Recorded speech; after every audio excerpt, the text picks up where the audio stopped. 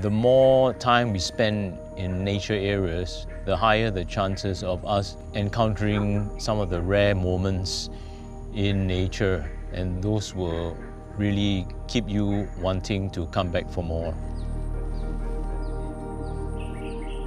Hi, I'm Dr. Leong Ming, and I'm a naturalist and nature guide.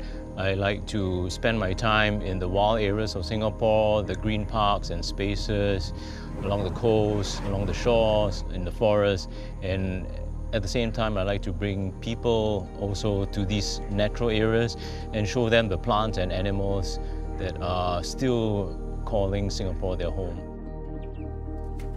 I think it started when I was young and I was very interested in the animals as well as the plants around me and I was just fascinated by the sheer diversity that can be found in such a small place. My chapter with bats started when I uh, was with the national parks and we were looking at the diversity of wildlife in the nature areas, especially in the central nature reserve. So we put in a lot of effort to try and study both the fruit bats as well as the insect-eating bats. And we set up some traps to capture them and to uh, measure them and to check on their health status. And that was an amazing journey of discovery to see how many species of bats there were. During our time researching on bats, we were able to find some species that were only very localized in certain areas in Singapore uh, within the Central Nature Reserve and uh, some were actually rediscoveries and some were new records uh, totally not documented in Singapore before. So our efforts were quite uh, successful and we were able to uh, look deeper and see uh, that actually Singapore was home to more bats than we thought of and we were able to have a close look at some of the very unusual species in Singapore.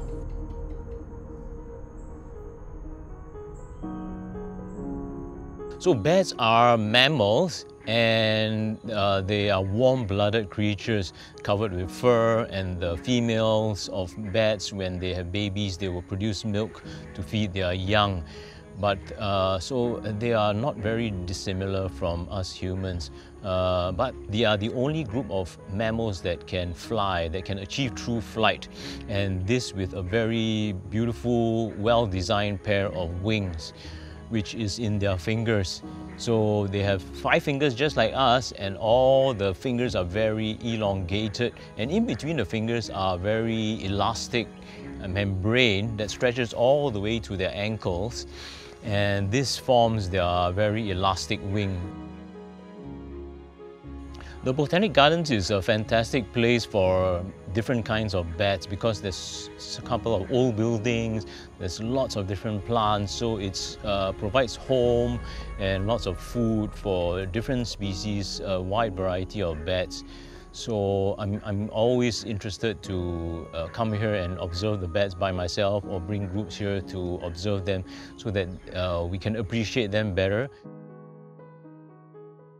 So as the sun sets and we observe the fading lights, we are preparing ourselves to watch the emergence of the bats. So the fruit bats will be hungry and uh, tummies will be rumbling and they're looking for fruits to nibble on, whereas the insect-eating bats are looking for some crunchy insects to munch and they'll be using their echolocation to swoop around and try and zoom in and home in on some of these insects for their breakfast as they awaken from their roost and we'll be getting ready our bat detector to try and see where they're coming from and where they are going to and how fast or slow they are flying.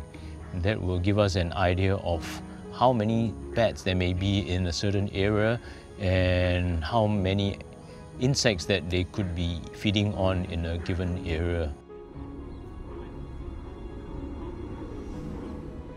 We know for a fact that bats uh, do carry a uh, wide host of viruses, but we also know that uh, the bats themselves are naturally resistant to those viruses. The problem happens is when some or one of these viruses can jump a host and be passed on to an intermediate host or even directly to humans.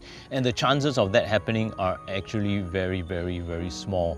So uh, we shouldn't be too concerned about this happening, although we have bats living around us because uh, we rarely have direct contact with bats ourselves.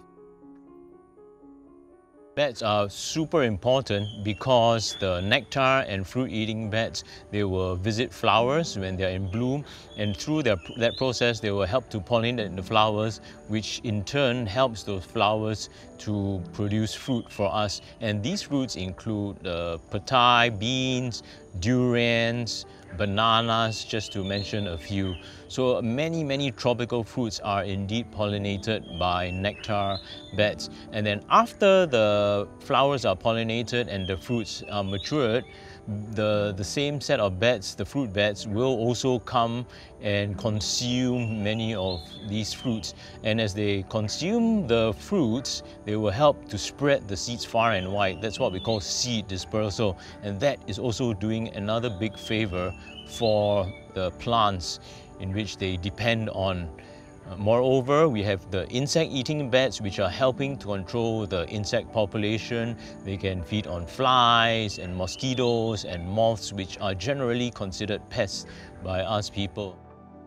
Thankfully, bats still thrive in Singapore because there are actually uh, quite a lot of spaces for them, some man-made, many natural. At the moment, I'm really glad that we can still find a good and healthy diversity of bats in Singapore and I really hope it stays that way because the presence of bats shows us that their food sources are abundant and around.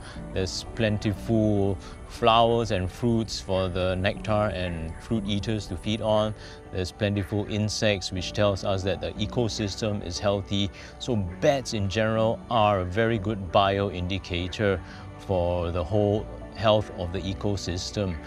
So there's lots we can do to help the bats thrive. We can maybe plant more trees that will produce flowers and fruits that are favorable for the nectar and fruit bats. We can design our buildings that may probably give allowance for a small family or bats to roost perhaps. So there's lots of ways in which we can actually encourage bats to continue to thrive in our tiny island of Singapore.